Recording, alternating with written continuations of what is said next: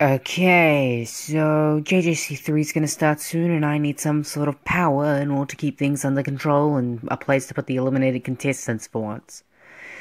Hmm, I know! I'll steal one!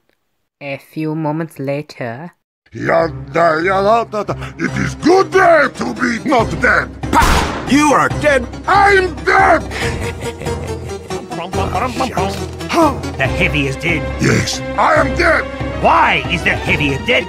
I don't know. I think it was. You are dead. Okay. What's up, you wankers? Who's up for it? Ah, what the bloody hell just happened? The That heavy heavy is is dead. The heavy is dead. Correct. So, did you see the murderer? No, sorry, mate. I will find him. I will capture him. And no one will ever die again.